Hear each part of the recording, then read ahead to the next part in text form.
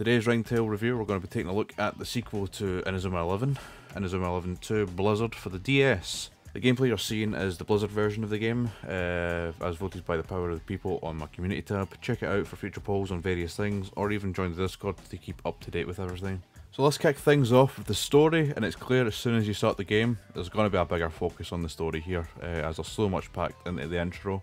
Uh, just going over what's happened since the end of the first game between what's about to go down right now at Raimon. Now, personally, I'm going to have a hot take here. I'm not the I'm not a lover of story in any kind of game, uh, but I do appreciate some from time to time. unfortunately, this isn't one of those times, as I feel like the over-the-top narrative of the aliens invading Earth and wanting to play football is really flat. Like, don't get me wrong, it's not terrible by any means, it gives us creative characters on both the alien side and uh, the ones we meet during our quest. However, I'm just not a fan of the way they told the story as it follows this template. Beat this team, but there's suddenly a stronger team that you didn't know about, and now you need to beat them. Rinse and repeat kind of gets tiring, especially when you defeat. You finally get to defeat Gemini Storm after playing all those games with them getting humbled each time only for them to do the exact same thing with Epsilon. Just kind of turn. It's, it's like this, uh, and even like this. It's the same with Genesis as well. When they like reveal Genesis and then they beat your ass, and then you then beat their ass. Uh, eventually, and yeah, it really starts to show cracks really early. The game pulls no punches with how this new coach handles like every situation. Like we were all really surprised when Goenji gets booted from the team uh, I think everyone's reaction when they were playing the game for the first time had the same reaction as the players when they were hearing uh, that Goenji uh, is off the team. I really enjoyed the arc Goenji goes through during this game, uh, as by going away from uh, Raimon, getting booted from the team by the new coach, he's not putting his sister at risk of any harm from the, the three creepy alien guys, and seeing how much it kills him that he can't step in when we, the viewer, know how much of an integral part of Raimon he is and how much he means to the main character Endo It's really good and it's really well uh, really well paced in my opinion. I really, really was uh, getting uh, invested in that story arc. I found this out really late, but it turns out when, depending on the version you're playing, either Fubuki or Goenji will get the more story time. And to be completely honest, I really didn't notice that during the replay of both Firestorm and Blizzard. Like, granted, I wasn't paying much attention to the story, but it's it still is a feature you would kind of like pick up on. Oh, this scene's a bit different. Or things are doing uh, things differently in this game. That you know that kind of way, and I just didn't notice that for some reason. So maybe it's just minor tweaks that the the version exclusives have brought into it, which yeah, I'm a big fan of. I'm, I'm a big fan of the version exclusive uh, like content we can get. It keeps get, uh, all the games kind of fresh in that way. Moving on to something a bit more positive, uh, we get to look at the new characters being introduced as we're travelling. Uh, I really like this. Uh, learn about each character and what they're about is, is, fun, creative, and it creates depth for them so that we can have uh, they can have a, a better thrive at a later date. And each location the characters uh, you meet are really well structured uh, and thought out, although I'll get to that later on. There's a time during Chapter 9 when you're attacked by the post-game's team's captain, Burn or Gazelle, but unlike the ally AJ, it's Aphrodite from Zeus that steps in. That is really cool. Seeing the final boss's captain step in an AJ during your quest against a new threat is awesome, and it's like a great callback to the first game.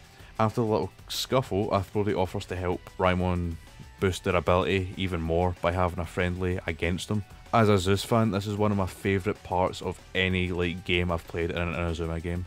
And speaking with a little bit of hindsight here, I cannot stress enough how cool this was like being able to challenge like a revigorated Zeus and have the, opportunity to recruit all of their players right after that friendly.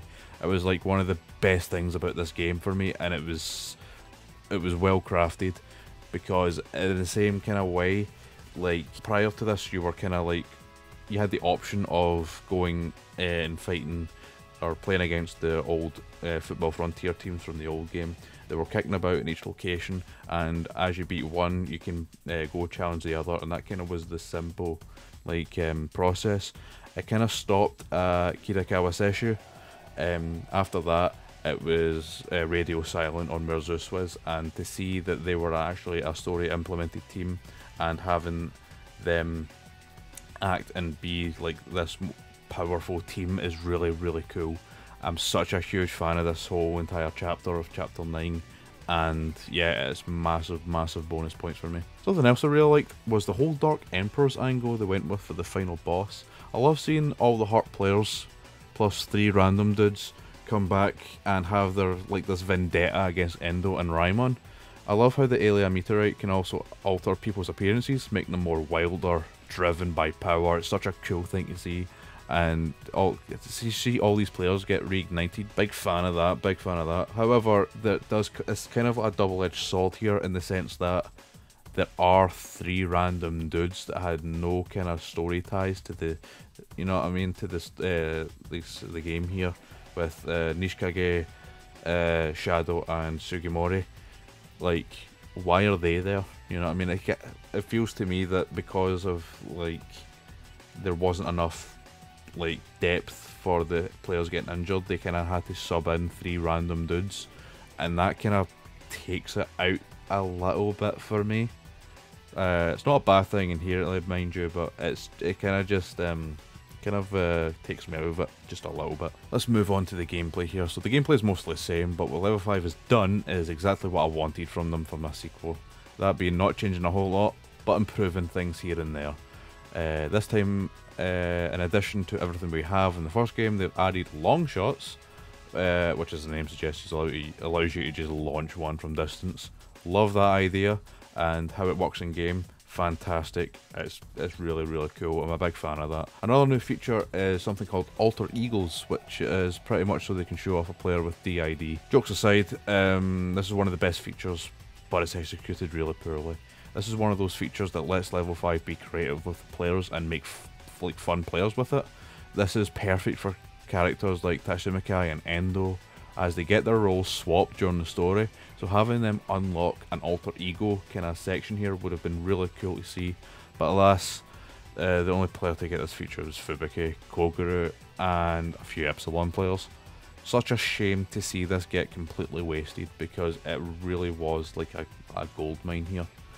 Like you know that one meme where it's like the miner like walking away from like an absolute diamond like overhaul. That's kind of what level five had here with alter egos, and it's, and it's just it's just a shame to see. Locations of this game has been expanded tenfold. Instead of being limited to just Tokyo, we're now uh, we now have access to the whole of Japan, which big fan. Each location has been crafted uh, very carefully, so that there's so much in each area that you can get like lost and absorbing like the vibes. Like with me, I absolutely adore going to the town in Hokkaido and just listening to this beautiful OST and just strolling around. It's not a big area, it's only two uh, maps, but it's just so charming that I couldn't help myself. Uh, actually, when I had to go away from stream, I just plopped myself right uh, in the centre of the town and just had the viewers listening to the music. Each area has that level of love put into them, and it's really nice seeing attention and care being put into these locations as we players explore. It also helps that we see those familiar faces, as I mentioned before, while you're exploring those there's those these new areas,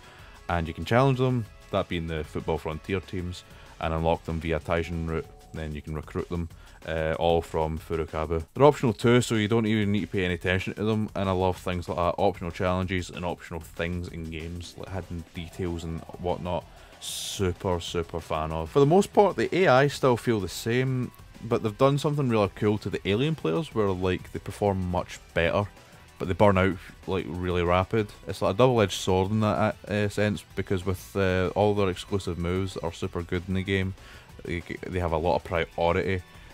But as a result of this, the players have really low TP, and that really balances out the the whole system here.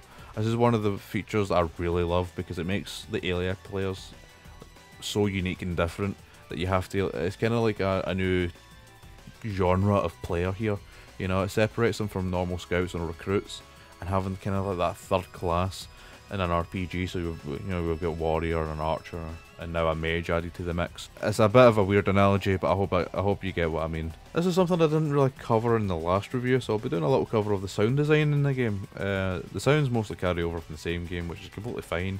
The reason I'm mentioning this is because I would have loved to have heard some diverse OSTs during my time playing. Uh, and it really annoyed me that I was listening to the three same songs repeatedly. Don't get me wrong, there is variation in this time round. It's not completely like the first game where it was just the same for everything, but this is not enough difference for me to forgive it. There's a ton of great OSC in the music library that this game features. I know this because as a kid I would use this OSTs all the time, just straight from the DS I was playing on.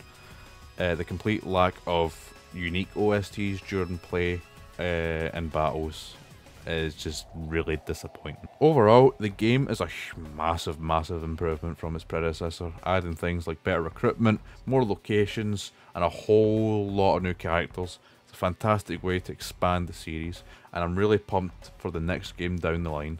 My score for Inazuma 11 2 Blizzard and Firestorm is 4.5 star out of 5. There is still a few things that leave me wanting more out of this game, but overall, it's still the best in the uh, the best game in the series currently. Let me know what you think of this review in the comments, or join my Discord in the description and share your opinion there. But with that said, I'm off.